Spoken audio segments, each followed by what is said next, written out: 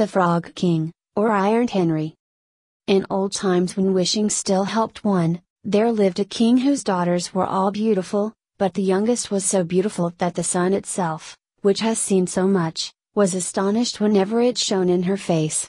Close by the king's castle lay a great dark forest, and under an old lime tree in the forest was a well, and when the day was very warm, the king's child went out into the forest and sat down by the side of the cool fountain, and when she was still she took a golden ball, and threw it up on high and caught it, and this ball was her favorite plaything.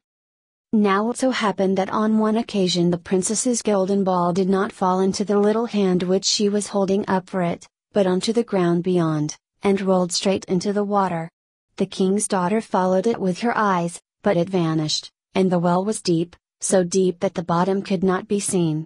On this she began to cry, and cried louder and louder, and could not be comforted. And as she thus lamented some one said to her, What ails thee, king's daughter? Thou weepest so that even a stone would show pity. She looked round to the side from whence the voice came, and saw a frog stretching forth its thick, ugly head from the water. Ah! Old water splasher, is it thou? Said she, I am weeping for my golden ball, which has fallen into the well. Be quiet, and do not weep, answered the frog, I can help thee, but what wilt thou give me if I bring thy plaything up again? Whatever thou wilt have, dear frog, said she, my clothes, my pearls and jewels, and even the golden crown which I am wearing.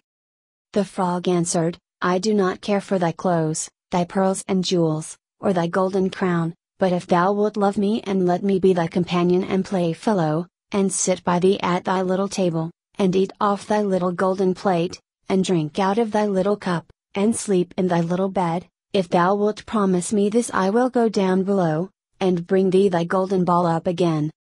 Oh yes, said she, I promise thee all thou wishest, if thou wilt but bring me my ball back again.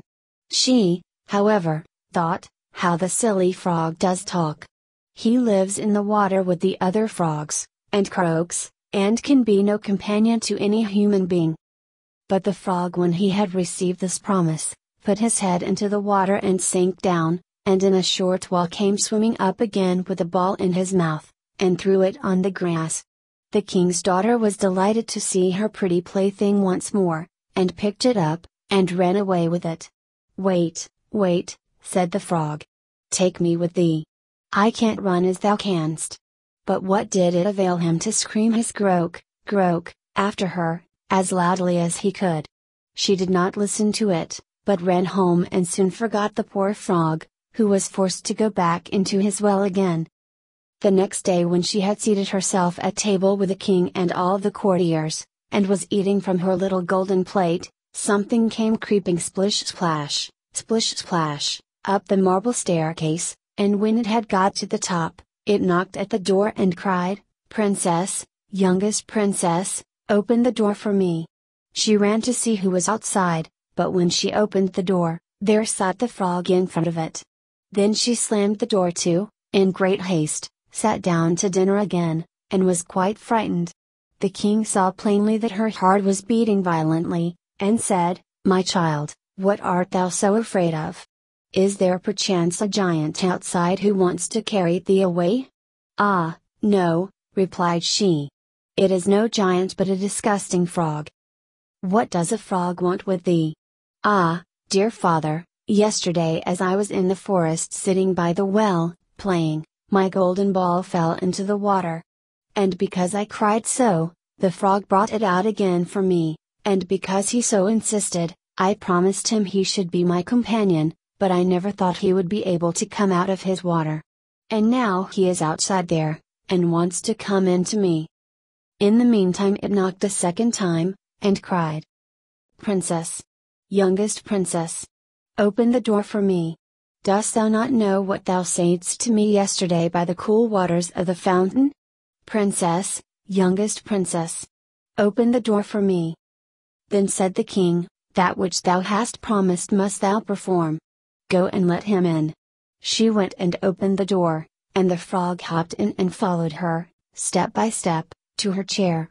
There he sat and cried, Lift me up beside thee. She delayed, until at last the king commanded her to do it.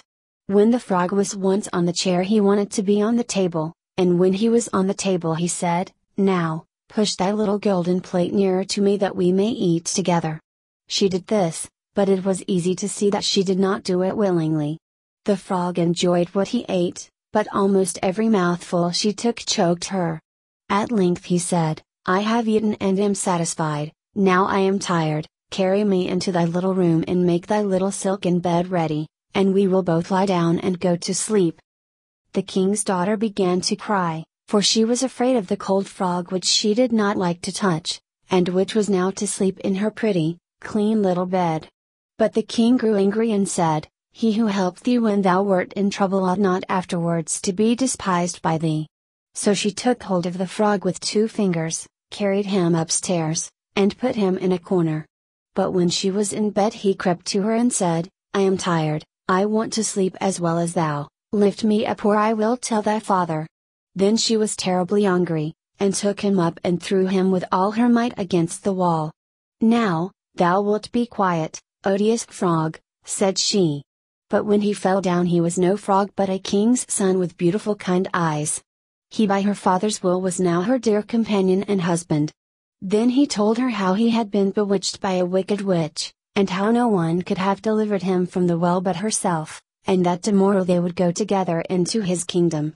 Then they went to sleep, and next morning when the sun awoke them, a carriage came driving up with eight white horses, which had white ostrich feathers on their heads, and were harnessed with golden chains, and behind stood the young king's servant Faithful Henry. Faithful Henry had been so unhappy when his master was changed into a frog, that he had caused three iron bands to be laid round his heart, lest it should burst with grief and sadness. The carriage was to conduct the young king into his kingdom. Faithful Henry helped them both in, and placed himself behind again, and was full of joy because of this deliverance. And when they had driven a part of the way, the king's son heard a cracking behind him as if something had broken. So he turned round and cried, Henry, the carriage is breaking. No, master, it is not the carriage. It is a band from my heart, which was put there in my great pain when you were a frog and imprisoned in the well. Again and once again while they were on their way something cracked, and each time the king's son thought the carriage was breaking, but it was only the bands which were springing from the heart of faithful Henry because his master was set free and was happy.